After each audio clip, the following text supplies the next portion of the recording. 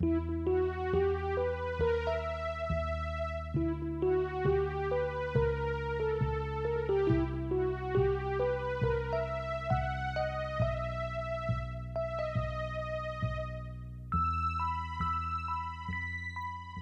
following is a fan made chapter reading of the web serial Pale by J.C. McCrae. The original text can be found at palewebserial.wordpress.com.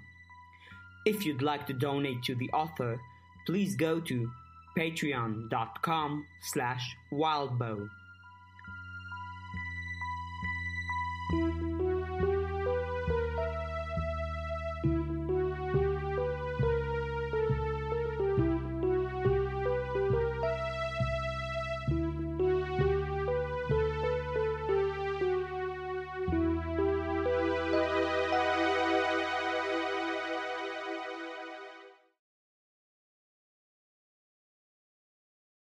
Chapter 7.9 Gone Ahead Avery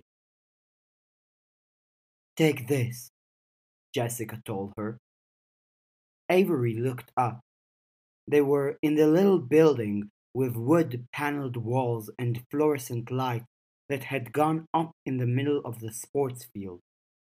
Half of the anti Bristow forces were within getting treated for injuries and figuring out their plan. Jessica held out a wrap Avery took, a wrapped chocolate covered protein bar.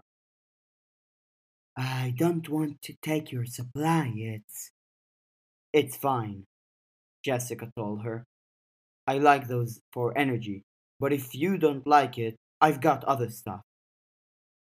She reached into a pocket pulled out two chocolate bars, then put them back, pulled out two more.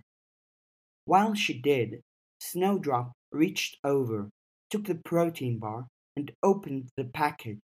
She put it into Avery's hand and moved her hand to her mouth.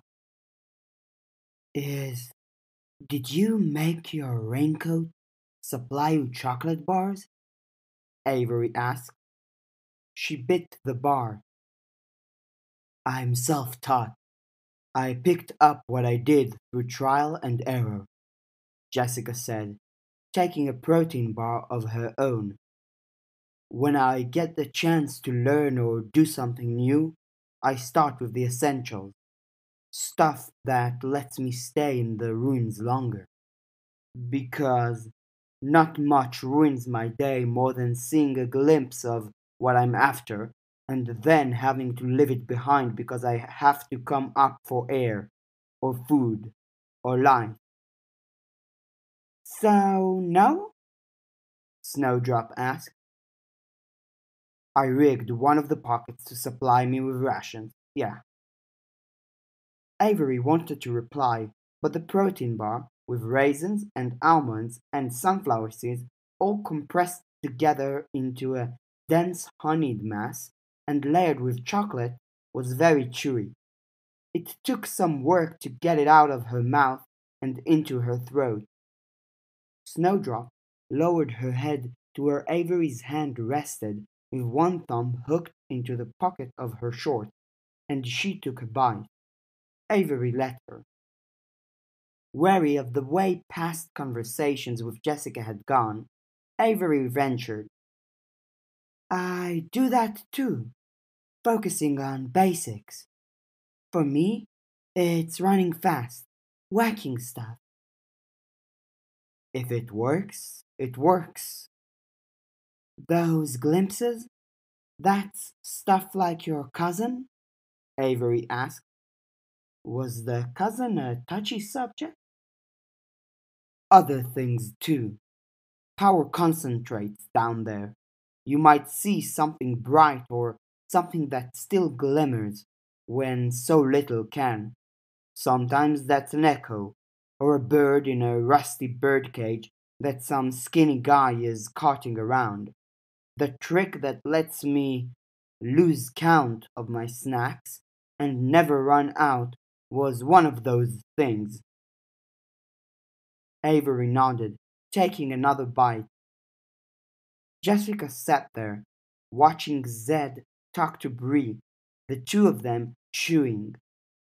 Over to the side, Lucy and Verona were figuring out the papers of Bristow's they wanted to distribute.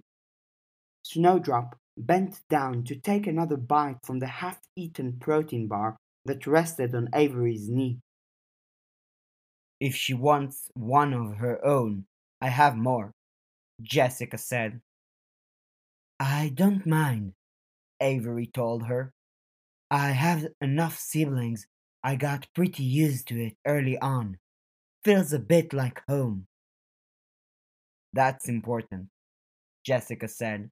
Feeling at home helps heal the self, which you need after a stint in the ruins. Snowdrop said something with her mouth full.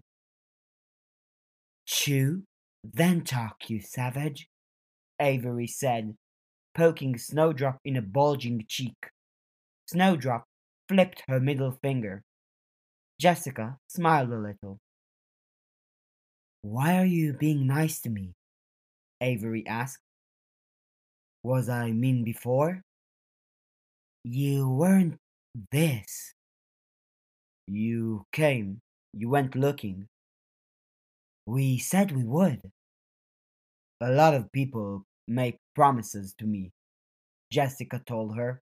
It doesn't mean a lot, a lot of the time. Deals to do something they put off until the last minute, or they track their own bullcrap in with it. I don't want to be dishonest. I wouldn't give it the weight you are. I was rattled, tired. That's it, Snowdrop said to Avery. Convince her she shouldn't be nice to you. When things get this bad, the bullcrap peels away and we show our real self. Jessica said, Yours is fine. Thank you, Avery said, voice small, not sure how else to reply. Your friend scares me. Avery looked at Verona. Aside from being tired, frazzled, a bit bruised and scuffed up, her hair even scruffier than usual, Verona looked weirdly fine. She's, a. Snowdrop snatched the rest of the bar out of her hand. You brat! Snowdrop ducked back out of Avery's reach, and Avery winced, touching the horizontal cut Shelley had made at her collarbone and shoulder. Let's get that fixed up, Jessica said. I've got some medical stuff. Sit.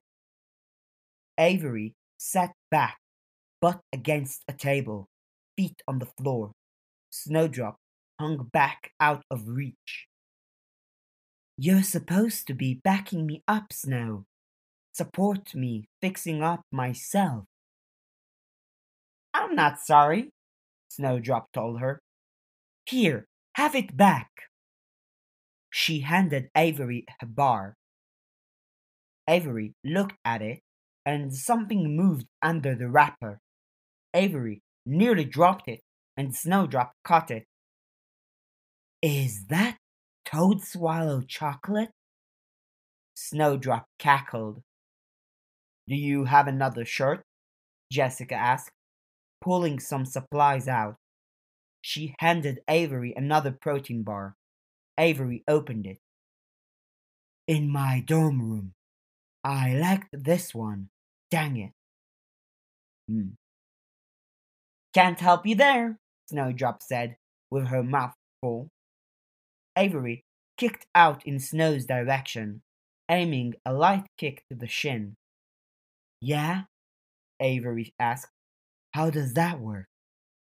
Snowdrop hopped up onto the table, switching to a possum form, masticating the remnants of the protein bar, crawled around behind Avery, and became human again while behind Avery. She wore a short sleeved shirt over a long sleeved shirt and shorts. The short sleeved shirt was pink, had a winking opossum with makeup on, two paws over the end of her nose. A dotted line arrow extended to the right, where her eyes were winking. Eyes over here. That might be the first one I don't get, Snow, Avery admitted. She looked at Jessica, who shrugged. Don't wear it, Snowdrop said, pulling off the one shirt, keeping the long sleeved one on. I'm confused both about the shirt and the weirdness of wearing something that's technically you, Snow. Jessica wiped something cold along the length of the cut. Avery shivered, full body.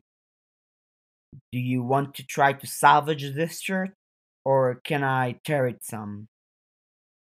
I guess tear it. Jessica's face was very close, and her expression was very intent, and she was being caring. And even though Jessica wasn't the build she really liked, the rest of those things were enough together to get her attention. Avery jumped as Jessica tore the shirt to get more access to the shoulder cut. No cracking, no veins. You don't feel heated or chilled? Avery shook her head. No hallucinations? Any figures at the corners of your vision? Whispers? Does she count? Avery asked, indicating Snowdrop. Or her weird shirt? Does the shirt make sense to people who aren't possessed? Snowdrop cackled. I see and hear her too and half those shirts don't make sense to me. Don't worry. I assumed it was an internet thing. Some are. I'll put on some cream for scarring. I don't think you need stitches. Maybe here and here, but I'm going to use some sterile glue. Okay, Avery said, taking the shirt from Snowdrop, who tried to steal the second protein bar as she handed it off, draping it over one leg. She jumped again as Jessica touched something cold to the big cut. You're turning blue, Snowdrop said. You're getting cold. Avery's face felt warm. Was she flushed? Hey, Snow? She asked. Hmm? I'm not sure if you're trying to cheer me up or change the mood, but, uh, not now. Snowdrop swiveled around, scooted over, and sat on the table, her back against Avery. She wasn't that much shorter than Avery. The back of her head rested against the back of Avery's neck, like they meshed. You're the same as you used to be, Snowdrop said. You too, you know, Avery said, grateful for the distraction from Jessica's proximity. Pinch, Jessica said. Avery pinched her own skin together. Jessica adjusted, then nodded. The Avery I got to know from the start wasn't the sort who'd think that stuff was fun, Snowdrop said. I think the Avery, who you got to know from the beginning, wasn't one who'd dealt with the wolf or seen someone die. Gabe kind of for a certain meaning of death. All right then, Snowdrop said, shifting position, her back pressing against Avery's. I know just how to adjust then. We talk, Snow. We communicate. We listen and as part of the communication, you can tell me what this shirt is about. Whatever you do, you can't ask Toadswallow. Toadswallow isn't here. Ave, Verona said, hurrying over. Yes? Avery asked. She was probably still flushed because Verona grinned. Bristow's coming. We're going to mobilize. He's walking, so we're going to run. Can you catch up? Probably. What's the plan? Avery asked. Are we covered? Verona asked Lucy. For Augury. I think so. We're not covered, but we should know if they look, Zed said as he walked over. Bree followed him. Why? Discussing the plan? Move number two of my hits against Bristow. I want to burn his new place. I think, as far as coup, claim, screwing up the power he has here, it's a pretty good move. And it's really hard to deal with Alexander while also handling the blaze. And it's big, dramatic. Can, Zed told her. Okay, maybe it's complicated to do, but. But you can. It's worked into the runes below the place. Believe me, technomancy is about places, and I was just scanning the place less than 15 minutes ago to figure out the weak point. After the recent fires in the library and stuff, I think they were extra careful. Can we blow it up? Verona asked. Where are the goblins? Or the elementalist kids? It's uh, pretty sturdy, Verona, Zed said. Seriously, he was expecting a fight. He fortified it. Lucy stepped forward. It's 100% off the table as a plan? Probably not 100%, but I think you want to find another tree to go barking up, Zed answered. The three of them paused. Jessica moved Avery's hand. Pinch. Avery pinched her own wound shut again. Jessica adjusted, then glued. You had four ideas on how to hit Bristow, Ronnie? Lucy asked. Yeah, had. Now I have three. One that I just used, and I just committed to hitting him three times because it's a good number. Classic number, but maybe outline your other plans? Zed asked. I wanted to hit him where his power is. Three challenges that weaken or gainsay him, or make him a lot weaker against Alexander. The last one, I challenged his word. Challenge idea number two was the building. If he loses his place on campus, he loses authority, he loses power, he loses standing, any stuff in there. Not doable, Zed said. He's walking over here to challenge you. You wanted to scare him enough he had to run. And to get him to huff and puff and look less sure of himself, because he's not a runner. Yeah, Verona said. Idea three was he's aware, which I'm very skeptical about, Lucy told Verona. Every single time we try. But Bristow is here, and so is Alexander. If we can corner them into saying something, that won't do, John said from the background. No, Verona exclaimed. Why won't do? Guilherme thinks the aware couldn't be budged as things stood when they made the last move against us. There is no reason to think it could happen here. But if we can go after one in a fight, Verona said, we don't have to convert them if we knock him out and hold him hostage. Make him say he is willing to let his hostage die in front of the others, even if it's a small hit. If we can get three minor wins. I wouldn't bet on it, John told her. No, she echoed, frustrated. Why? Same principle as the building. He brought them here knowing they'd be an obvious target. He reinforced them. I haven't seen any true openings, and I have a fair eye for these things. It's like you theorized with how Shelley was affected, Avery told Verona. We had four ideas, Lucy said. Now we have three, Verona cut in. Attacking his oath was used. That leaves this one as a maybe.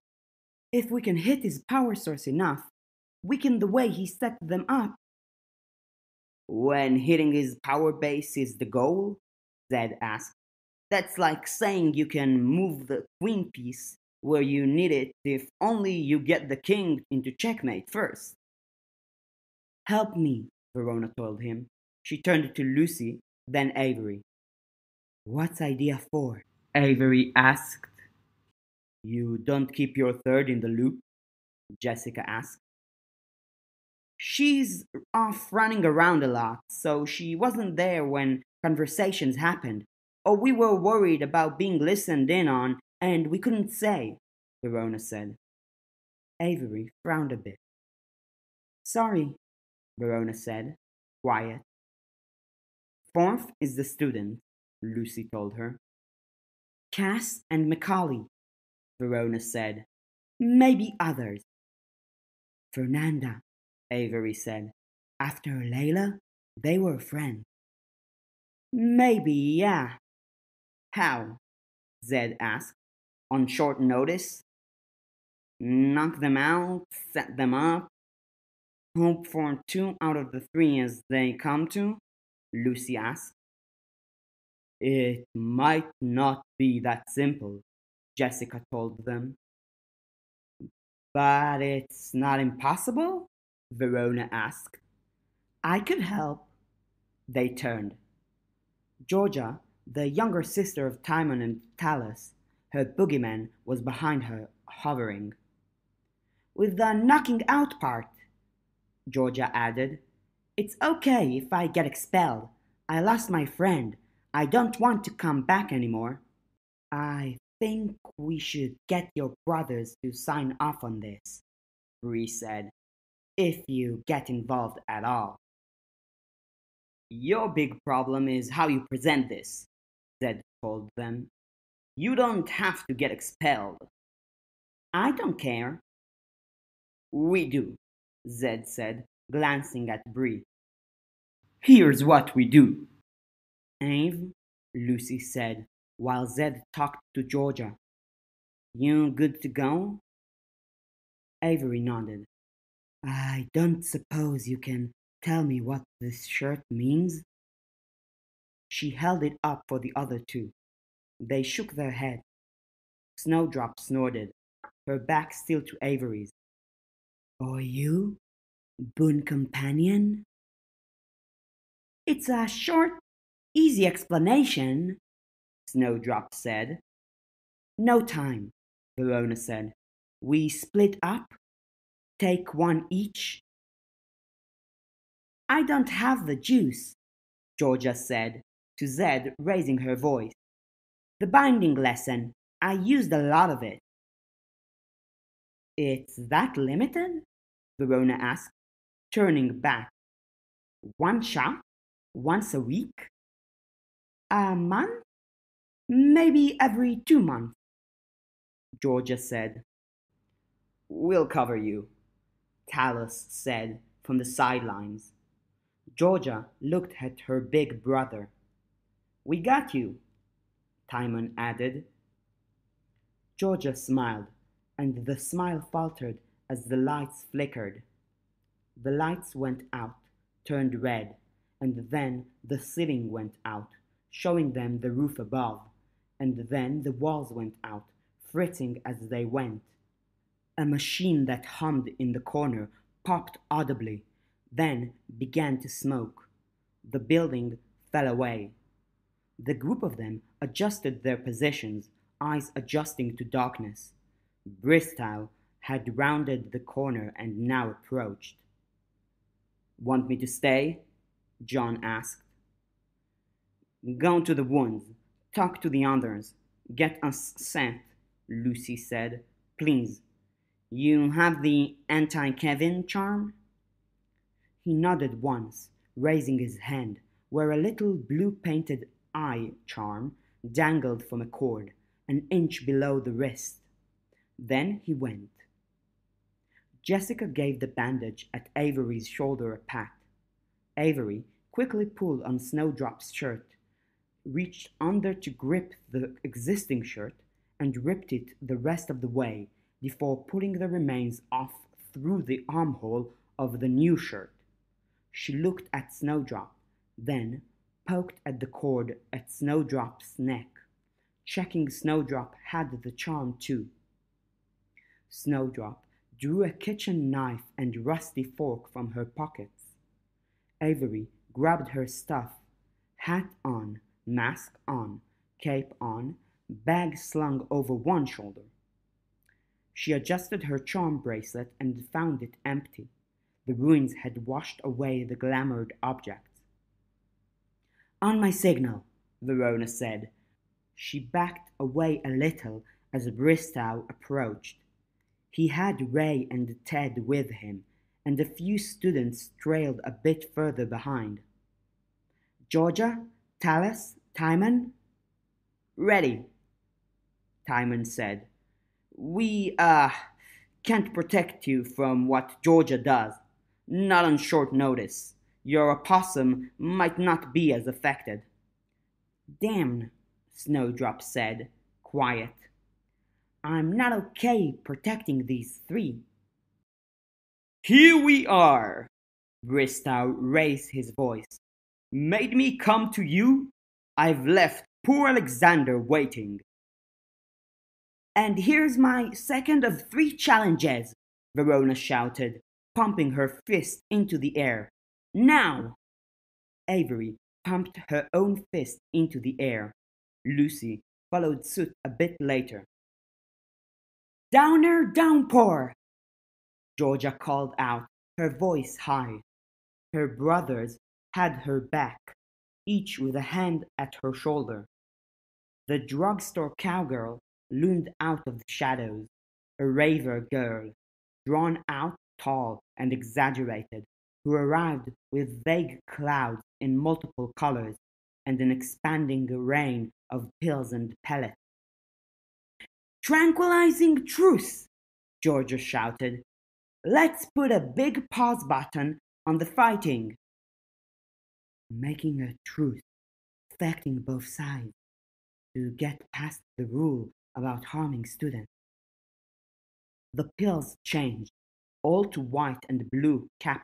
A pill hit Verona like a bullet fired from sky to ground, and Verona keeled over. One bounced off of the brim of Avery's hat and off of Snowdrop's head. Another punched through without leaving a hole. It slipped into her, flooded her mind, and she was out. They used to think the paths were dreams. The voice had an off kilter edge to it, like how a hacksaw could make different sounds on the push and the pull. Pushes for some words, pulls for others. Then they thought different. Their far flung realms, the cliff's edge of the world so ragged that the pieces flake off. The wolf stood opposite Avery, old, hunched over, but big, wearing a startlingly red dress. Layla laid at the woman's feet. The wolf put her foot under Layla's neck and lifted it. Toes worked their way through Layla's hair. She stomped. The head made a sickening, familiar sound. Avery flinched. The paths are dreams, Avery, the wolf said. And they are the edge of reality. She raised Layla's ruined face, lifting with toes gripping hair, and then stomped again. The sound repeated. Both at the same time. The world's dream. Your dream. One and the same. Humans make up the world, and that has its border, its sharp edge. She stomped again, then again, with a faster tempo. Your world, your dream, your edge of sanity. I'm here, Avery. I haven't left. The stomps repeated, drumming wet until they defied sense and reality. The head going to pieces, the original chunks becoming pulp. The exact same sound was there behind it all, repeating over and over again the sound of Layla's head hitting rock. Avery's hand clutched her shirt over her heart. The shirt Snowdrop had given her. It helped, just a tiny bit, but she needed even the tiny bit. How long would it take you to get home to mother, father, family, brothers and sisters, a nice warm bed? How long if you decided to run, to ask for help and drive it? Hours and hours, the wolf asked against the backdrop drumming of sick, violent sounds. How long would it take for you to get to me if you wanted to? Less than an hour. When there was nothing left for the wolf to stomp, what happened? How long would it take me to get to you? The wolf laughed, and it was an eerie sound, that hacksaw effect all the more pronounced, decorated with blood spatter and a foot pounding its way past broken bone. How long? Seconds, once the way is clear. I'm closer to you than home is. I want to embrace you more than anyone or anything else does. The briefest of embraces before I tear you to pieces. Avery swallowed, and it took effort, made her head shake. She didn't break eye contact. The wolf laughed again. The wolf's foot came down, and it slipped, turning sideways, scraping to the side in the red gore. A look of surprise crossed the wolf's face. The look of surprise became a toothy smile, ear to ear, her eyes dark. She lunged, moving with long gnarled limbs and a reaching hand with long broken fingernails. Avery, keeping to the rules, didn't back up. She ducked left, avoiding the reaching claw. A hand gripped her neck and terror seized her. Aye, there you are! Alpina, she recognized the face. The second or two it took to process the realization were more than enough time for the wolf to get her from behind. Alpina pulled her into the dark wood. Avery woke, scrambling, pulling away from the shadows of Alpina's darkness. If you're unconscious as I arrive, that's a failure to meet, Bristow said. I'm conscious, Verona said. All around them, people had collapsed. Only the others, Georgia and her family, Bree, Zed, and those of Bristow's contingent that had come with were unaffected. Snowdrop crouched nearby, brandishing her weapons at head. A brief lapse. If you're focused on that, you're not paying attention to the challenge. Help, Alpina whispered. I cannot work so fast. Avery gripped Snowdrop's shoulder, then started running. Ted lunged, reaching, and momentarily got his hand on Snowdrop. She swiped with the fork, and he let her go. He didn't run after. Lucy was already running, not as fast, but running, circling around the western end of the school. Fernanda, Avery huffed. Oh, I did not know the names, lassie. Daughter, Prissy, our age, pretty, skinny. I do not pay much mind to faces either. Breathy covers a wee bit under half a lot. She lost a friend. Her friend died.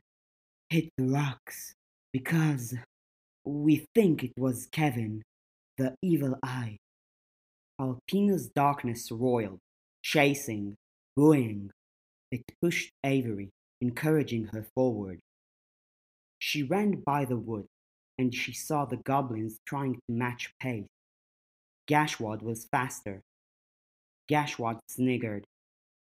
What? Avery asked. The shirt. Gashwad raised his voice before laughing. Focus, Lucy barked. Cover us. Alexander was there, amid the workshops and other external buildings, his back to the parking lot. So was Clementine, unconscious. So were some other adults Avery didn't recognize. Alexander was waking students. I got Cass, Lucy shouted. We talked about her, Alpina. Aye, I remember. Direct me. Alpina's amorphous, multi limbed, multi faced form grew and divided. Fernanda, Avery saw. Can't, Alpina said. She peeled away. The darkness dissipated. Hands, faces, and black Drangok hair smoke pulling back. Ray, hands in her pocket, walked down the stairs. She was a woman who could have been a model or celebrity, except she looked so tired. The woman held out a hand, and the pill bounced off of it. Weird, Ray said, her voice hollow. Lucy was dragging Cass off to the side. As she got Cass out of sight, Alpina was free to work. If we can get the aware to split up, that's another challenge. We need three wins. Three wins against Bristow when he and Verona are going back and forth on the brownie thing should tip things in our favor. They had two challenge ideas, one of which they'd managed okay. The second was the students, and Ray was in the way of that. The third could be the aware, but that wasn't likely to happen. Ray, Avery said. Don't know you. This is all pretty crazy, huh? Kevin sure dragged you into something, huh? Avery asked. Snowdrop took her hand. He does that, Ray said. Avery glanced at Alexander, who stood back. He'd woken Clementine, who looked up.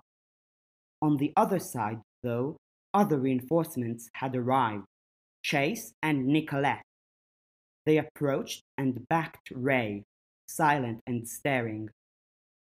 We got the rundown on the Kevin thing, Avery said. Yeah, seems like everyone knows my life. Parents, friends, strangers. Whatever you are going to say, I promise you, people closer to me, older, with more experience in the world, have said it. Okay, Avery said. She shook her head. What are you doing here? Why here? Why now? It's kind of a vacation getaway.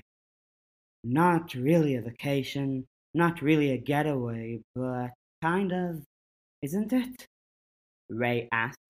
She smiled, and it was a bit wry, like feelings behind it betrayed the smile. Can I get you to go inside? No. Why not? Avery asked.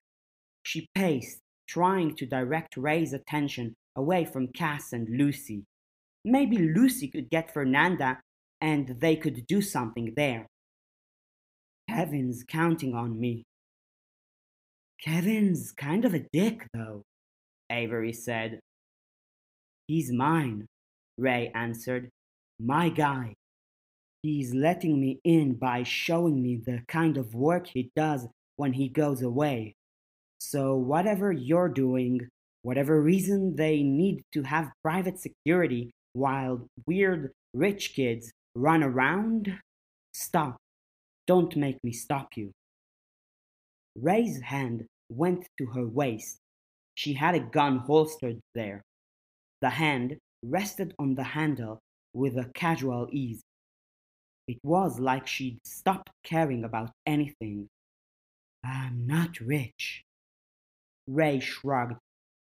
Privileged. You can come to a place like this. Avery was close enough to Alexander and Clementine now. Clementine went to take a step forward, and Alexander stopped her. Help? Avery asked. No. You wanted to interrupt? Interrupt. We can wait until you're done. I don't really know Ray, Clementine said. Help? Avery asked Nicolette. I'm not sure I could, even if I had the A-OK. I'm very sorry. The situation sucks, Nicolette said. Maybe get Raymond to come? He stepped in a few too many times, Chase answered. He's taken a spot critical enough in the world scene that within the hour that he takes aside, six or seven people bigger than Durocher, Bristow, or anyone here will wipe him off the face of the planet. Guaranteed. They're deliberating now. Because he countered the movements of the staff the one time, he arranged healing for a student on one side and some other stuff. Sounds big, Ray said. I won't pretend or try to understand, but just in case it keeps me on the right side of people that big and important, I'm going to insist you all stay put and stay quiet until some others arrive. Is this really what you want? Avery asked Ray, still moving, pacing, leading her to the side and away from Lucy. Ray didn't answer. She only laughed. And it was an unhinged, hacksaw back and forth kind of laugh. Avery shivered. Sanity's edge? Avery!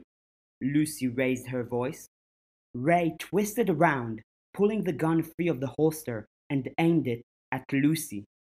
Lucy, who'd stepped out of cover, left Alpina and Cass who hadn't gone for Fernanda, stepping into danger. Lucy bit her lip, then raised a hand slowly to her eye. Her other hand remained still. She scratched her eye as she made eye contact with Avery, while held at gunpoint. Avery turned her sight on. Mist over everything, motion made more real. She could see connections, and she could see movement changes in expression clearer than expressions themselves. Ray was like stone, unmoving, and the mist was thick, cloudy, noxious. Like it was acid, the mist was eating away at connection. The longer, fragile one, it was between not Avery and Lucy. Avery looked down at Snowdrop, then took a step away before wishing she hadn't. The step away gave her a better view of her little friend, her companion, and the way connections between Lucy and Snowdrop were dissolving. The connections between Snowdrop and Avery. This is great, Snowdrop said. Her hand went to her throat. Easy? Ray raised her voice, the gun moving with an erratic swing. Even Alexander ducked some. None of you are moving until Kevin comes back or my landlord comes and passes on other orders. Ted. Ted had momentarily gotten his hand on Snowdrop. taking her protection? Oh, I'm like a little trash goblin. I have lots of junk. Weird that I lost that, Snowdrop said. You're a lost denizen of path. You can't hold on to stuff. You told me that. Not weird you lost your grip on it. You couldn't have ditched the stupid knife or fork? Snow? Don't say or do anything, Lucy urged. It makes it worse. Shut up! Ray raised her voice, reacting to the change in tension. Ray? Clementine said. Ray pointed the gun at Clementine. They're kids, Clementine said, staring down the barrel of a gun with one eye that was half closed, a little foggy, the other unwavering. Don't you want kids one day? Shut up! The agitation grew as the smoke did. Hey, loser! Snowdrop said, turning her head to look at Avery. Avery shook her head, small motions. Ah, Snowdrop said, her voice wavering. Sucked knowing you. You little brat, Avery hissed. Don't you dare. If I die here, I'm going to leave you without a cool shirt on, Snowdrop said. Funny. Avery mentally translated. If I die here, I'll leave you with a shitty t shirt. Tragic. Their help was on the other side of the building, unconscious or tied up with Bristow. Verona was stuck there, dealing with the trials, presenting or countering any argument. The goblins couldn't take on an innocent aware. Maybe Clem, but Ray was the danger. You didn't explain the shirt to me, Avery told Snowdrop. Don't ask Toadswallow. I want to ask you. Ray fired the gun. Avery took a step back. Snowdrop flopped over.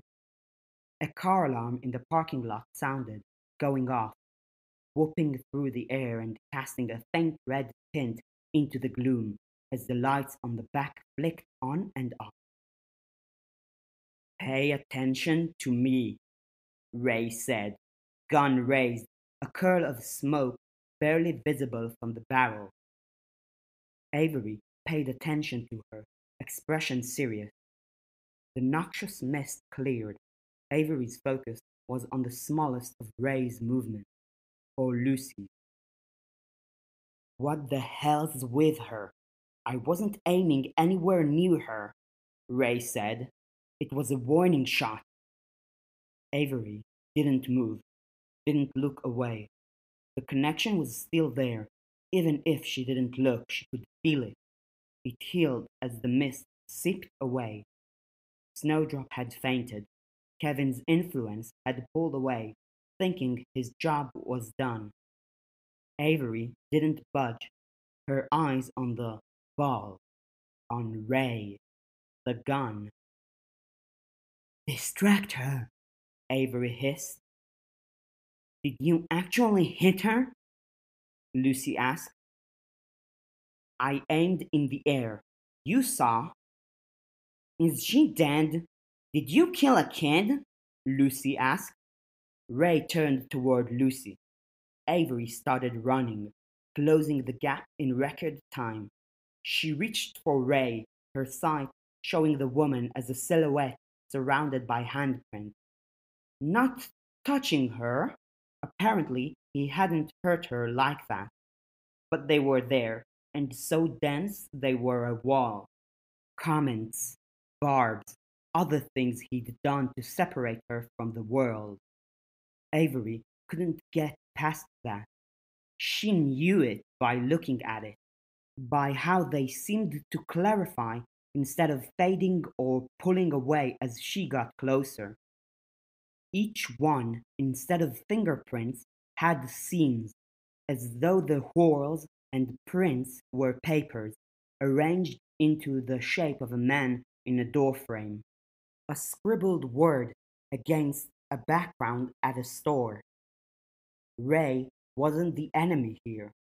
Something supernatural had pulled her to a place dark and unreachable, and Avery couldn't touch her there, couldn't get to her. So Avery went for the gun. She'd spotted the connections that had jumped out when the gun had fired and claimed everyone's attention, and now she pursued those. She barely grazed the side of the gun, reaching out, but she could grip connections and put her power into those connections, like she had on day three of the practice, reclaiming her mask. It was, in Ray's reality, a grazing touch at the moment she didn't have a good grip. The gun fell from her grip. Avery hit the ground, the cut on her chest screaming like she'd just torn it open again as she landed on her back, holding the weapon. She raised her feet, a barrier, and kicked as Ray lunged in, reaching. I've taken self defense, Ray told her, grunting as she pushed a leg aside. Avery flipped over and scrambled back, holding the gun pointed down and to the side. Ray didn't fight like she'd just taken self defense. She fought like Avery had imagined Ted would slippery, fast, strong. The slip part of that might have been the kind of aware she was. Nothing got to her. Not words, not a reaching hand trying to get a hold of her wrist. But some of it was something else, like she was in the zone, her focus entirely there. This isn't you, Avery grunted. It's us, Ray shouted, groping for the weapon. You're worse off because of it. No, Ray grunted. Avery twisted, kicked, and pushed Ray away. It barely landed, barely worked. No, Ray said again before adding, I can't be alone. I won't ever be alone again. The words were heavy, Ray's presence heavier still, as she crowded in on Avery, using reach to win the wrestling match for the weapon. There was no self preservation on Ray's part. Might not be alone right now, Avery grunted. But you're not you either. Not like this. She pushed. It worked. Ray moved back a bit. Avery fainted, and Ray fell for it. Avery used the moment to turn, to hop up onto the handrail by the stairs of one of the exterior classrooms and run up to the top of the stairs, her feet by the doorknob. As Ray circled around to the bottom of the stairs, Avery hopped up, climbing onto the roof. Get, come down here, Ray shouted. Avery gave the woman the finger, glancing warily at Alexander and then over at Chase and Nicolette. She glanced down at the gun, figured out how it worked while being very careful of where it was pointing and what she was doing, and ejected the clip. She tossed the clip into the darkness behind the building, then set the gun down in a gap between gutter and a chimney pipe. It would be hard to find in daylight. Chase was chanting.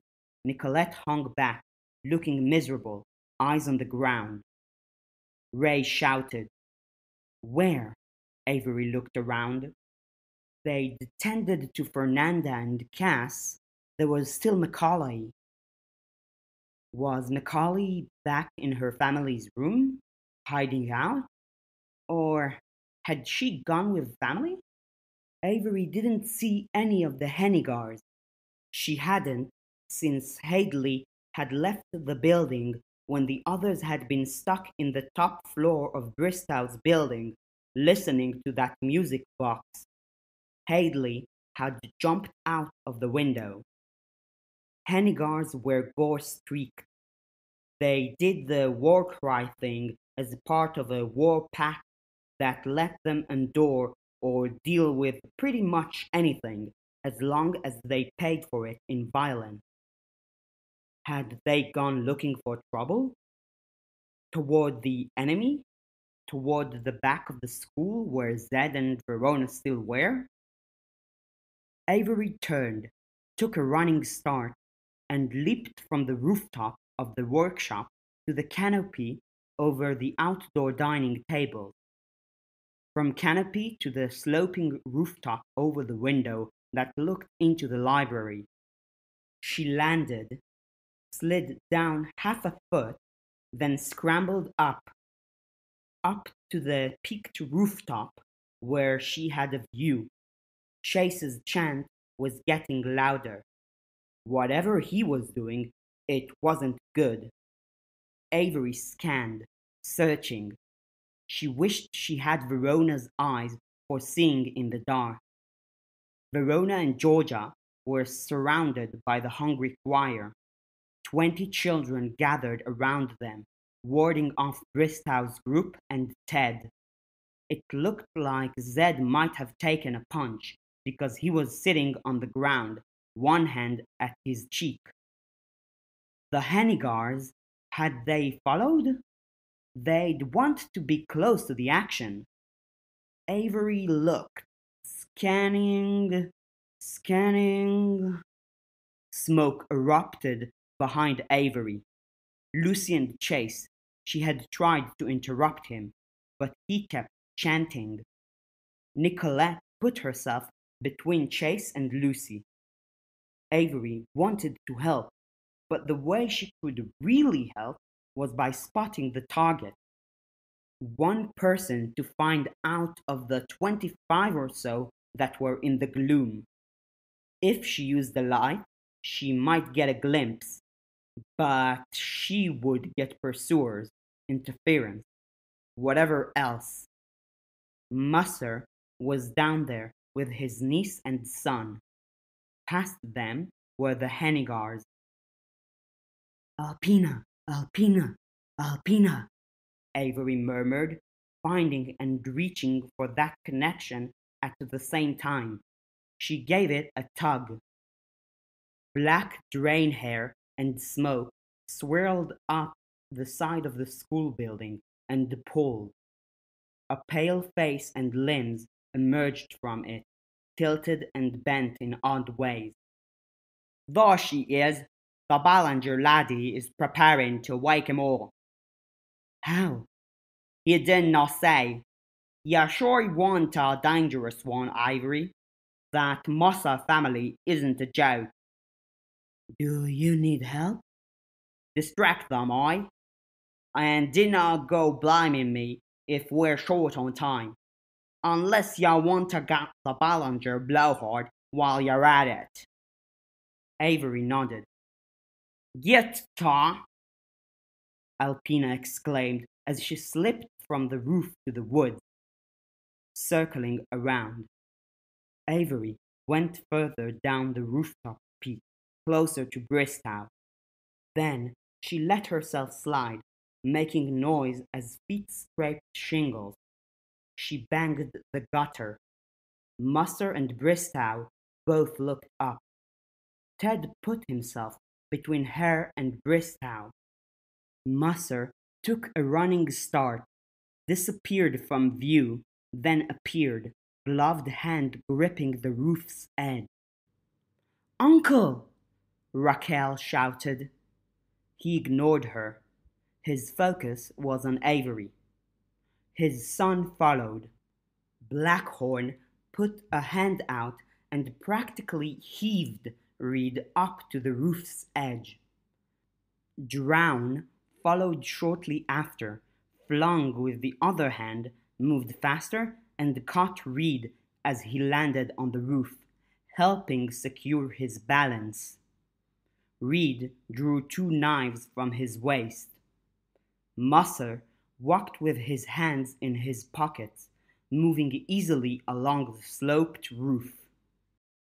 I don't intend to let you by, Musser said. What if I say please? Uncle, read! Raquel shouted. Again, the two were silent, focused on their enemy. Try waking the Hennigars again, Raquel, Mr. Musser called out. We're. There's another! Raquel shouted. The men looked. Alpina and the goblins were at the edge of the clearing, near the Hennigars. Raquel couldn't advance any farther because Tashlit was there. Avery let herself slide down the roof toward Bristow, and Musser moved to counter. She scrambled, running, and made a beeline for Chase instead. Reed, deal with her, Musser called out. He changed direction. Avery skidded, running on the southern side of the rooftop, closer to Alexander, Chase, Nicolette, and Lucy, as Reed, Blackhorn, and the Drown crested the peak. Blackhorn ducked out of view as Ray looked. Drown, a little more capable of passing as human, carried on after. Avery half ran, half skidded on her way down, and threw herself toward the ground, rolling many times as she landed. She hoped the others could deal with Musser. Drown was fast, and the other, with wet hair, matched her pace with ease. Black smoke erupted around them, and Avery decided to trust it, hiding in it instead of avoiding it. She could hear Drown near Chase and hear Ray shouting. Maybe if she got the gun, a hand seized her neck, not for the first or second time today. Clammy, cold, and wet. Drown had her, and as he reached into the smoke, he had Lucy too. Reed was there on the roof, holding a chain stretched taut between two fists, like there was some purpose to it.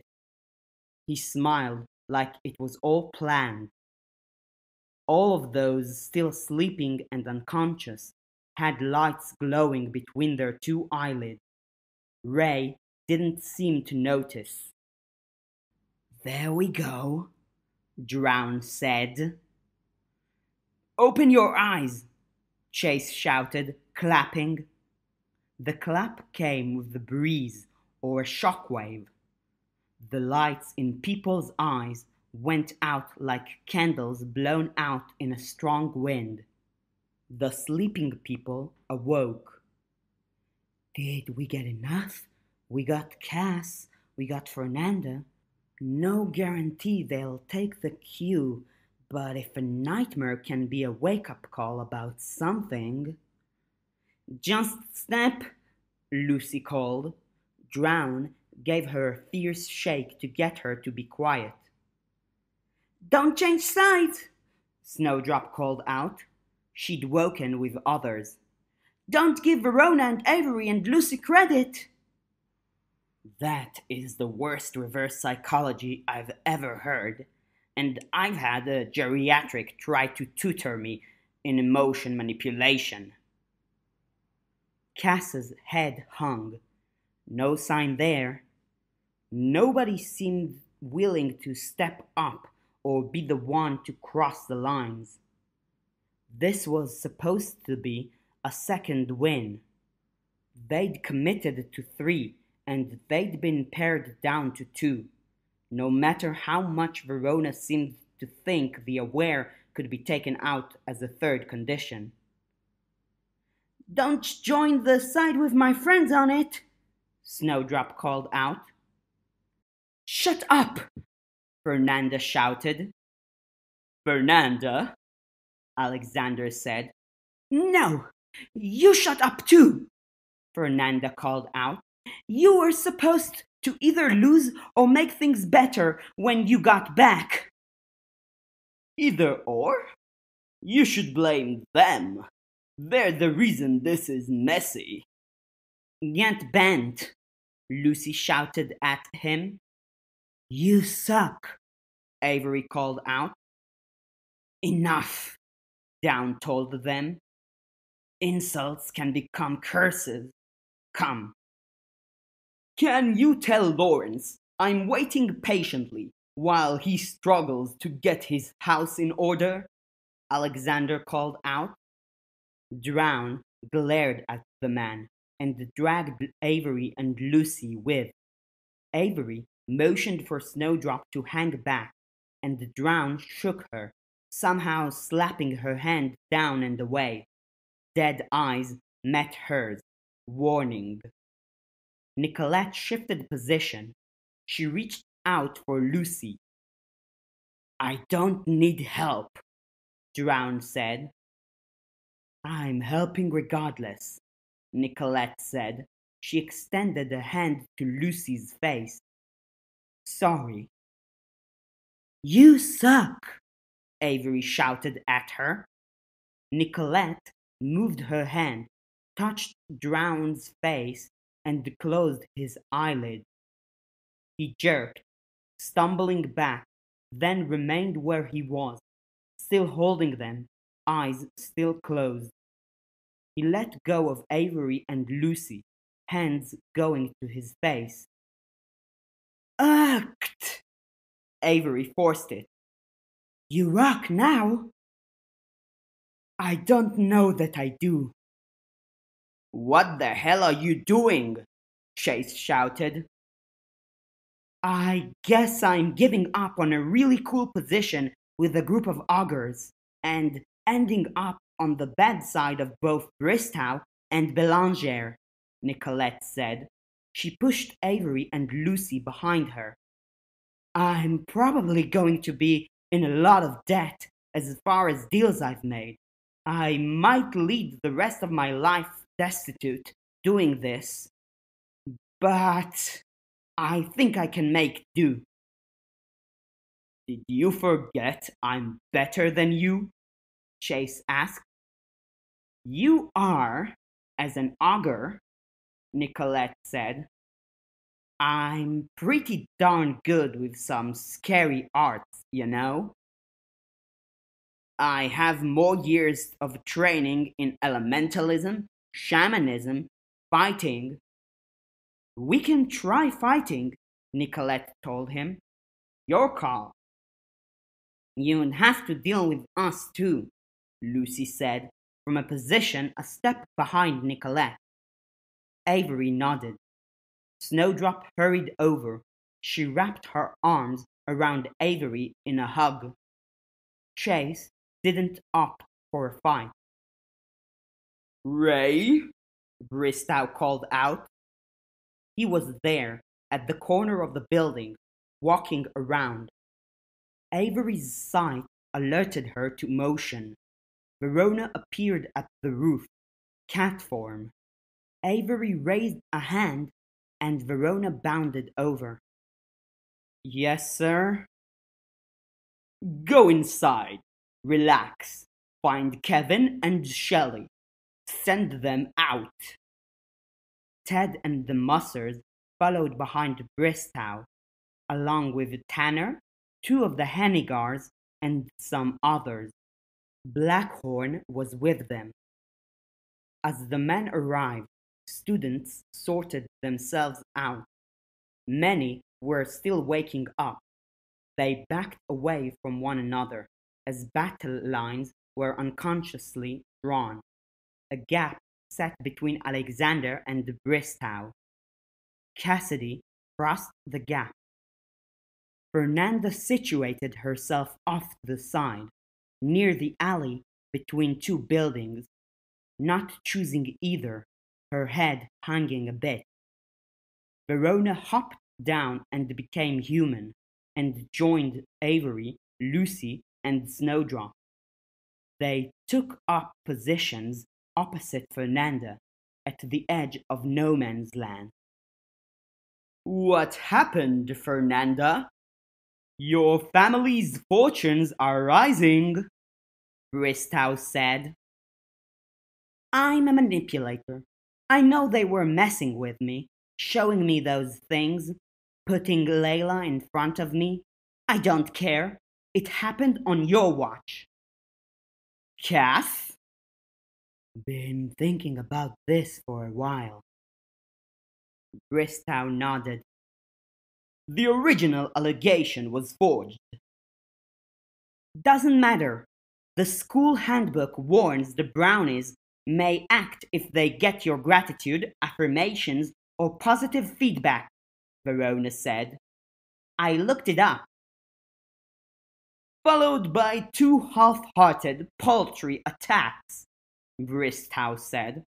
I've told Mrs. Hayward that we do not operate in absolutes. A regret about an outcome is not a regret about what I've done regarding her hometown, nor is it a general sign of happiness over outcomes aimed at the staff. Half hearted defenses on your part, you mean? Verona shouted.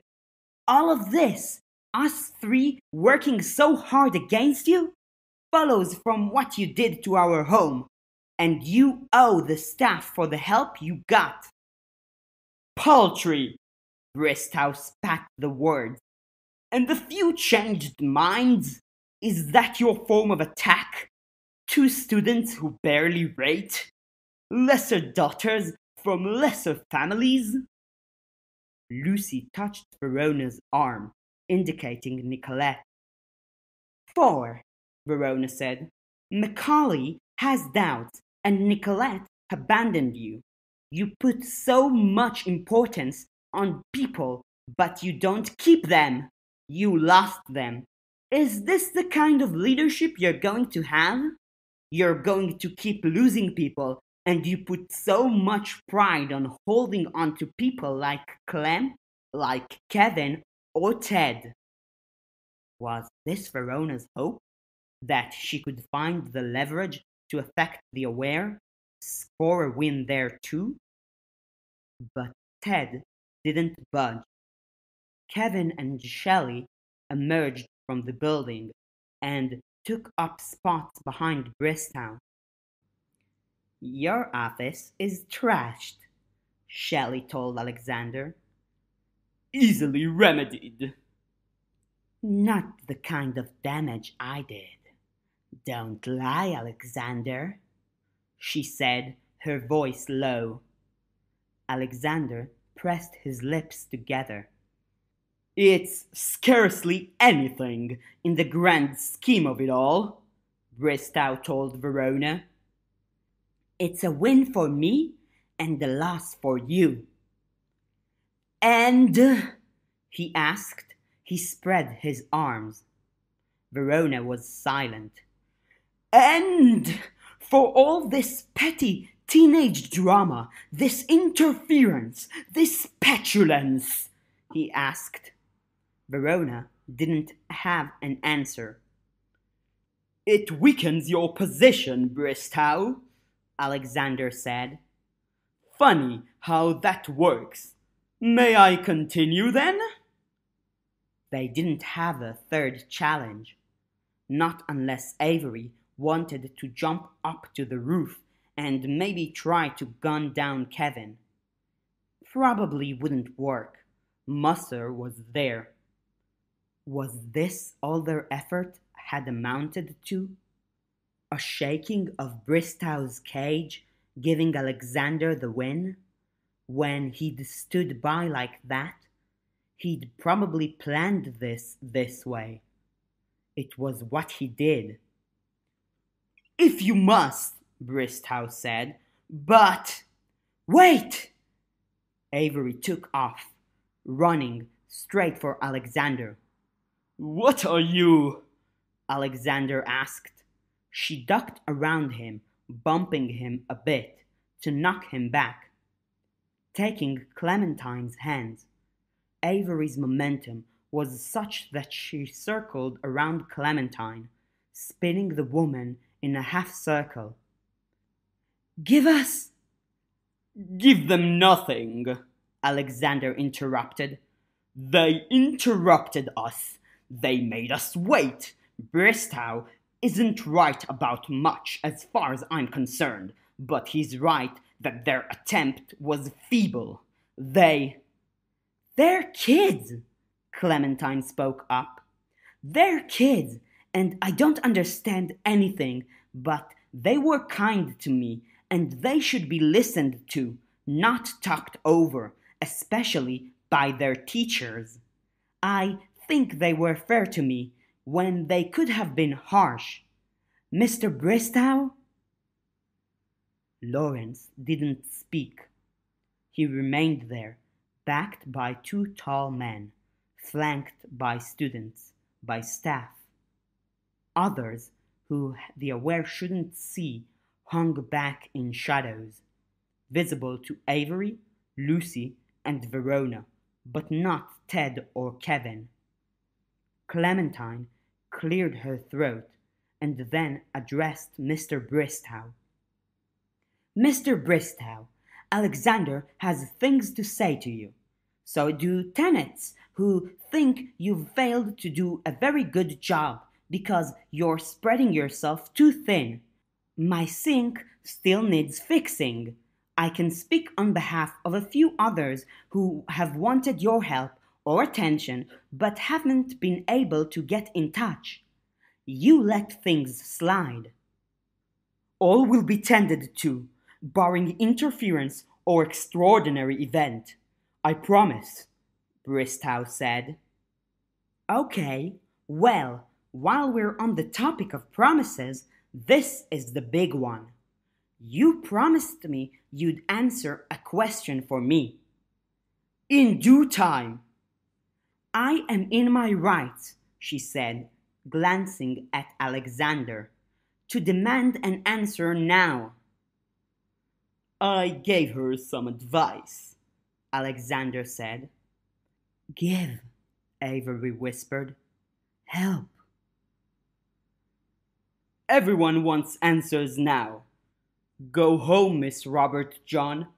I'll speak to you there, barring unexpected circumstance. I demand my answer, she said, more firmly. You owe me for the trouble. She paused for the trouble Daniel, Sharon, and I put those three girls through, for their sakes, on our behalf, Avery said. On their behalf, please answer in the here and now. Third challenge, woo! Verona whooped. Let's do it! Bristow gave her the side eye, then stared Clementine down. Third challenge, sure, Clementine said, very serious. Stolen from Alexander. He had to have something prepped against Bristow. Alexander didn't look happy. What are the questions? Question one, Clementine said. How may I, Clementine, Robertjohn, or anyone I designate to search on my behalf, access the most valuable pieces of information you keep on me. Pieces of information? he asked. She shrugged. Diagram? Avery thought. Is this the arrangement that has the aware all secured and trapped? Ask your second question. How may I, or anyone I designate to search on my behalf, access the most valuable pieces of information you keep on Ted Havens, tenant and assistant manager of the building. And the third? How may I, or anyone I designate to search on my behalf, access the most valuable pieces of information you keep on Sharon Griggs, tenant and sometime helper of yours? I can guess how the rest go. Are you going to rush home? Alexander asked. It's a long, long drive. I can testify as I just traveled the opposite direction. And I can tell you that Y may be injured, but he's ready. Everything you have on them to keep them under your thumb, it'll be long gone by the time you even cross the provincial border. I want my answer now, Clementine declared. Third challenge, Verona crowed. Is it going to be a third sucky half answer? Because that sounds pretty bad for you as far as our back and forth go over your difficulties with the staff. You're wobbly with your word, got it on paper, as you've seen. You're not keeping students. Letting them die, Fernandez said. And you're not keeping promises made to tenants? Gosh! Thank you, Avery murmured to Clementine. Ted laid a hand on Bristow's shoulder. Bristow, wordless and still, flinched, jerking back out of the way of the hand. He took a few seconds to resume his prior posture, gradually resettling. Lawrence? Alexander asked. Theda. No, Bristow said. There are ways. Verona, if you're claiming this win and he can't dispute, would you agree to go easy? There are ways to deal with the staff, the tenant situation, but you'd need to clear it. Sure, if he agrees to terms, Verona said. Gladly, sure. Stepping down, Alexander said. You don't get to take control over this. Lucy raised her voice. You failed people here. You let things slide. You you ruined Seth.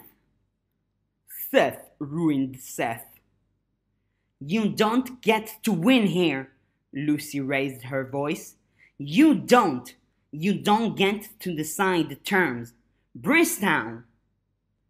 Can you call me Mr. Bristow, please? The man asked. Step down, Lucy said. Verona nodded beside her. Make amends to Layla, to all of us. We deserve something for the pain and distress you put everyone here through. Release your hold on your tenants. Agree to leave us alone, Verona added. No retaliation against anyone here or anyone related to us. Giving up everything? Bristow asked. Everything I've built? Everything I am? You'd be alive. You'd even be able to salvage relationships, Lucy said.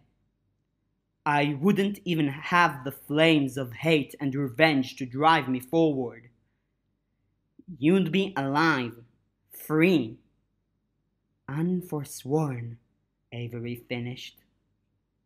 I won't make this any easier by surrendering.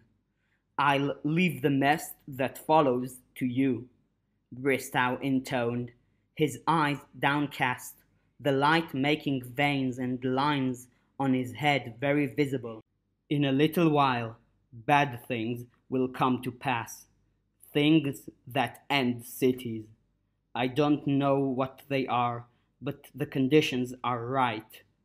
What I was going to build here would have prepared us. Yes, it's harsher. Yes, fewer students make it through. But we'd be ready and organized against threats to come. It won't be in the next few years. It may not even be in the next decade, but I think these wrongs are coming in your lifetimes, and I damned the lot of you to it. He turned. Ted reached for him again, and he smacked Ted's hand aside. Bristow! Alexander called out. You most of all, Bristow said without turning back. On either side of him, in blue tinted windows that glowed with interior light, X shaped eyes opened, orange red. They multiplied, opening from bottom to top in all of the available windows. This is dumb. Verona's voice was barely audible, talking to Bristow. Verona's eyes were purple with the sight, visible only to fellow sight havers, and as the orange eyes filled the window, turning it from pale blue to orange red, Verona's eyes reflected that, doing much the same, purple to a warmer color. The aware, looking back, didn't seem to notice the interior lights were different. As my last act as headmaster, you and your friends are expelled for acting against a teacher. I don't think you're headmaster any more, she said. Bristow shook his head. He turned to Musser to say something. He pushed the doors open. For a brief moment, the double doors were open wide enough to let him pass through. The room was bright and stirred, as if an orange red flame burned inside. The doors closed behind him. The multitude of orange red eyes closed or turned away. The interior returned to a soft blue. Verona didn't even seem to flinch. Lucy's eyes were downcast. Avery felt a bit sick. As practical lessons go, Alexander Belanger said, that was a steep one. Shall we? You're not headmaster, Nicolette called out. Alexander stopped. Can someone get Ray? Nicolette asked. Zed I know you're still mad, but please tell him Bristow's gone. He doesn't need to worry about taking sides anymore. Zed nodded. He hurried up the stairs, past the remnants of Bristow's contingent, into the building. No fire of X shaped eyes burned inside as he pushed the door open. This goes smoothest if I resume my position as teacher. Let's wait for Ray, Nicolette said. Ray didn't take long at all. He stepped outside, wearing red sunglasses despite having been indoors, long hair combed, dress shirt and suit jacket on, with a very narrow red tie. Sorry for the inconvenience, Raymond said. Bristow's gone. Can I get confirmation? There were weary nods here and there. Students, I'm sorry. I believe we'll have a reduced class selection for the next few days while we get things sorted and organized. Mr. Musser, while I have your ear, would you happen to be available? The man shook his head. Mrs. Grobard? The woman nodded. All right. I know some students haven't eaten. I'll ask the staff to please put something quick together. Guests, are you? Tenants, Clementine raised her voice. Tenants of Lawrence Bristow, you're welcome to stay for dinner. It shouldn't take more than ten minutes to get ready once I get them started, and the quality is top notch. If you're unable or unwilling to make the drive home tonight, I can look into accommodations. Things are chaotic, so I beg your patience in all things. I beg everyone's. I'm not good at this. I don't enjoy it, but I will do my best for all of you. Raymond, Alexander said. Raymond held up a finger. Students, Please be aware, I've expressed a very strict no tolerance policy in the past. If there are any lingering disputes, please put them to bed or reach out to staff to resolve them.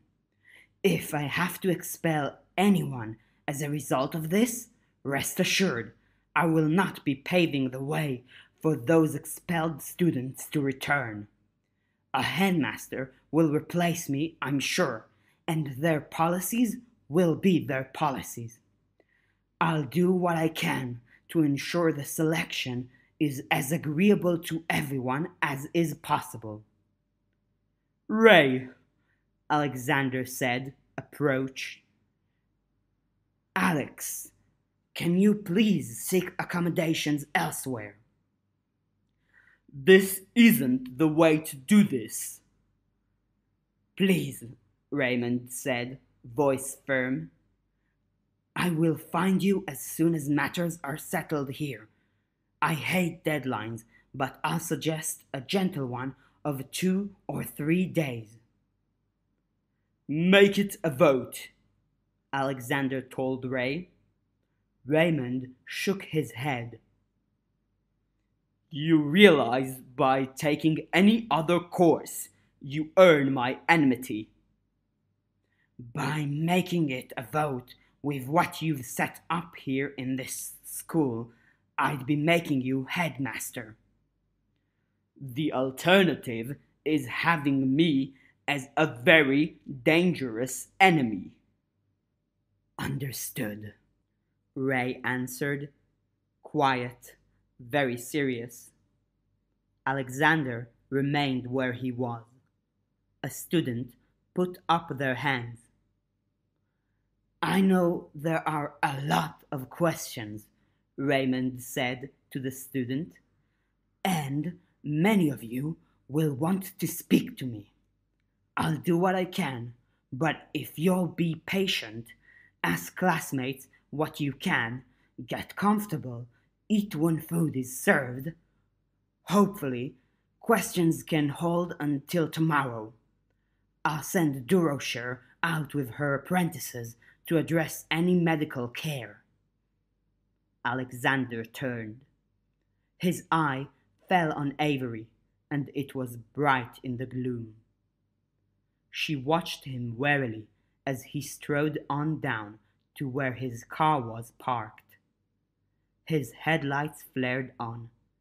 As that light faded, his eyes remained bright, more anger and intensity in there than there'd been in that orange red frenzy fire that Bristow had walked into.